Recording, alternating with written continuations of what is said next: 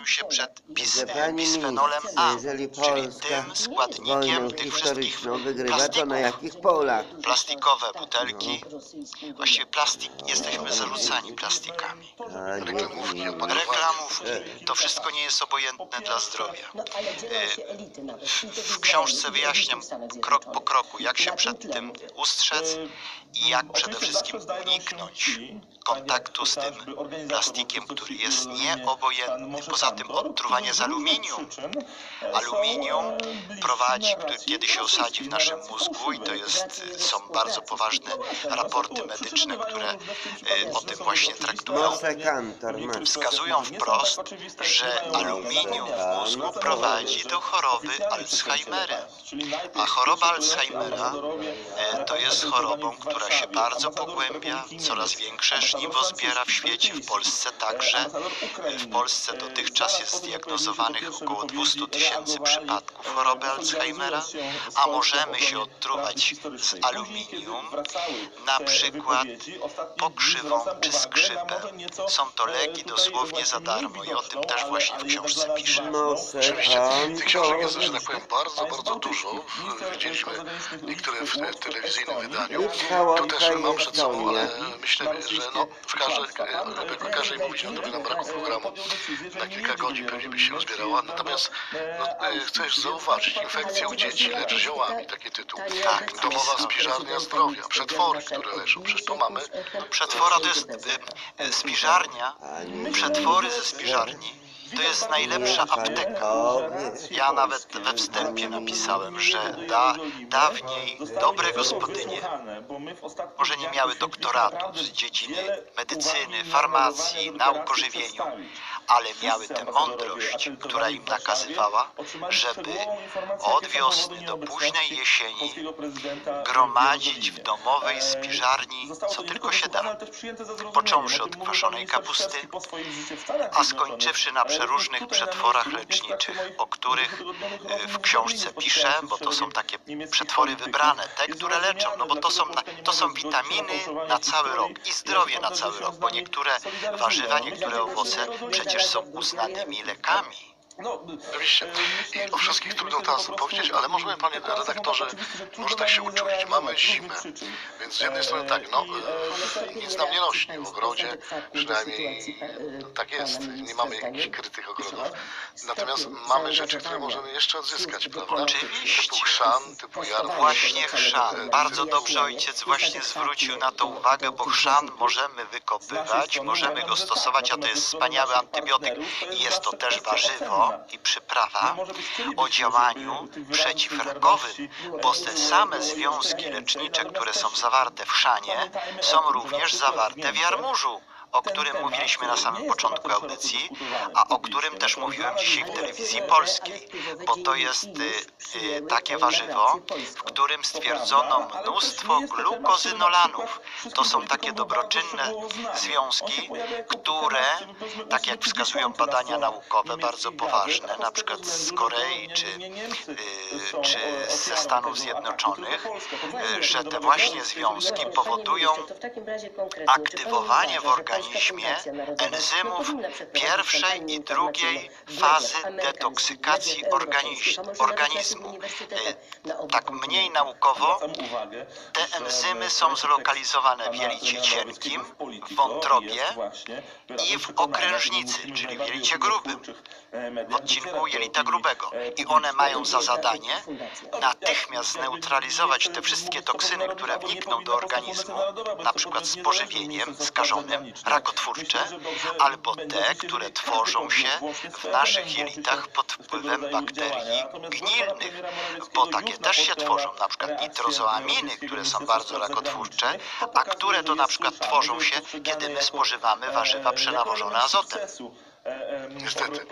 No i poza tym też, e, e, te, też są te książki poradnikowe, jak korzystać z takich no, świetnych ziół jak pokrzywa, jak brzoza, tak. dzika róża, prawda, więc to wszystko tam książki o pokrzywie napisałem. Pokrzywa przywraca zdrowie to jest moja książka, e, która wyszła w ubiegłym roku, e, bo pokrzywa to jest e, lek za darmo. Profesor pokrzywa, tak? Pani profesor Pokrzywa, profesor medycyny, tak jak Pani profesor Pszczoła, to są tak. Też pani profesor Pszczoła, Tak, tak, tytułować. tak należy tytułować. Tutaj mamy owad, a tutaj No i mamy pan profesor Jarmusz. I pan profesor. Właśnie, panie dyrektorze, czyli może się skupmy teraz jeszcze na takie rzeczy. Jest czas zimowy, czas grypowy, przeziębieniowy. Co, co musimy mieć pod ręką w, w każdym domu, w każdym takim domu, prawda, gospodarskim, gdzie, gdzie, gdzie są dzieci, gdzie są rodzice, gdzie są starsi. Może zacznijmy od tego, co niezbędnik taki ziołowy e, Polaka. Przede wszystkim czosnek, ale polski, nie chiński, który może tak? Huzar, huzar? harnaś, ornak. Ja na przykład zaopatruję się w Krakowie, bo w Krakowie to są polskie odmiany, które były właśnie tam uzyskane. Zagłębie czosnkowe to jest okolice Słomnik koło Krakowa i drugie zagłębie okolice Pińczowa.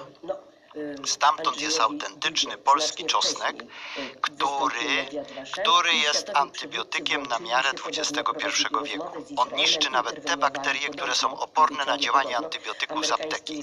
Na przykład Klebsiella pneumoniae to jest taka bakteria, y, która jest oporna niemal na 90% antybiotyków, które są znane medycynie, a która na przykład prowadzi do zapalenia płuc, które często się kończy y, śmiercią u ludzi starszych z niewydolnością krążenia.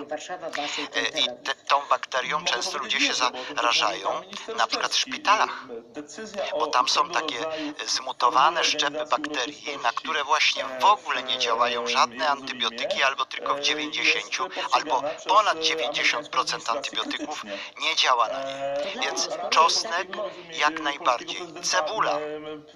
Nasze praprawabki, Też Polska. też polska, oczywiście. Polska na przykład, którą ja kupuję, im bardziej piekąca, tym lepsza. Czyli biała. Biała. Im bardziej piekąca, nie jakaś taka słodka, bo słodka oczywiście jest smaczniejsza, ale ona ma mniej tych związków y, o działaniu antybiotycznym, związków siarki. Więc y, cebulę, nie, tyl, nie, nie tylko cebulą się kurujemy, ale cebulę jemy na co dzień. Ja na przykład w tej książce Ecodetox podaję tam taki przepis na cebulę duszoną z dodatkiem smalcu gęsiego która bardzo dobrze chroni przed przeróżnymi infekcjami, która bardzo działa dobrze. antybiotycznie, y, pomaga przy zapaleniu skrzeli, przy zapaleniu płuc i pomaga usunąć tę szkodliwą wydzielinę, która często zalega w oskrzelach i która utrudnia oddychanie, poprawia, y, pogarsza komfort oddychania. No i jeśli tej wydzieliny nie usuniemy, no to takie infekcje, tak jak mówiłem, mogą trwać całymi tygodniami. Ta- Następnej kolejności chrzan. Na przykład chrzan z miodem tarty. Podaję tam taki przepis w mojej książce Antybiotyki z apteki Pana Boga. Poza tym dobry miód. Jaki dobry?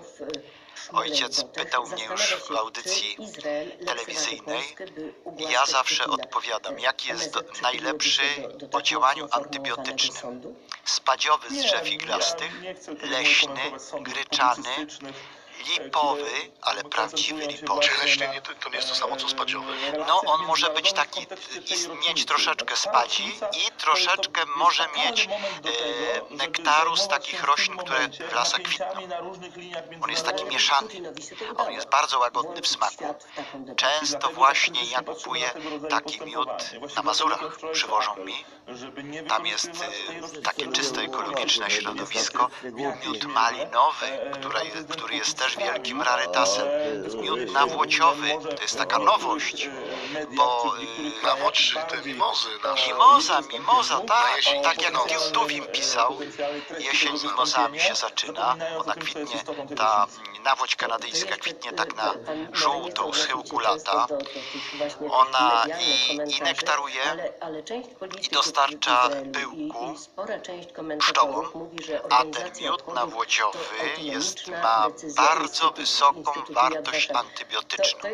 Były badania prowadzone w Polsce i okazuje się, że dwukrotnie niemal ma wyższą wartość antybiotyczną taki miód nawłociowy niż miód manuka, za który płacimy krocie i który jest sprowadzany w plastikowych opakowaniach z Australii albo z Nowej Zelandii. Tak.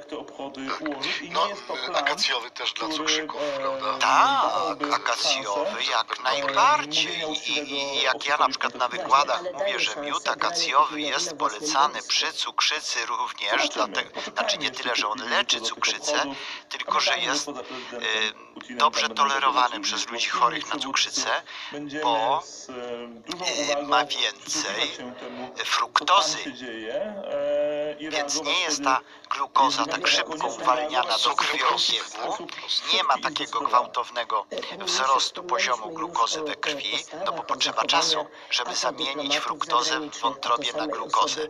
Poza tym mówi się, że dwie łyżki dziennie, jeśli ktoś nie cierpi na otyłość, to może, jeśli ktoś się oczywiście zmaga z cukrzycą, to może dwie łyżki takiego miodu stosować.